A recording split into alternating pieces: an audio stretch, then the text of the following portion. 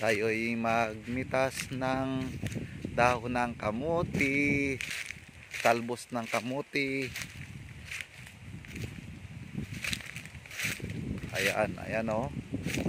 ang lawak ng lupain.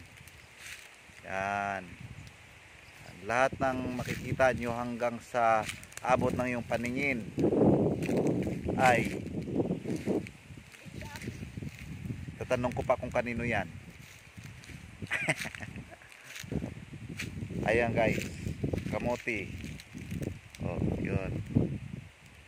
Dito sa probinsya pag wala kang ulam makakasurvive ka.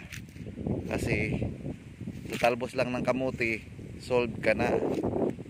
Ayan. Umitas tayo ng daon ng kamote. Talbos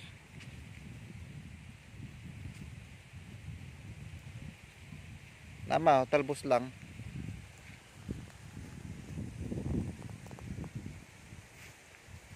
Ayan.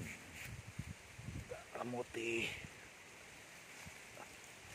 Kutsilyo ba?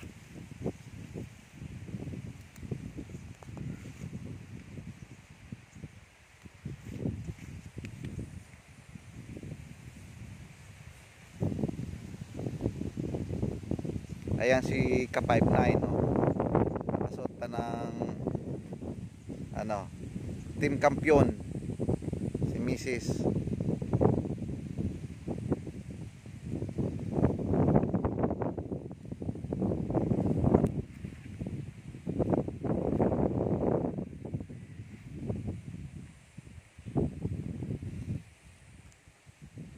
Ayan. Sarap dito guys.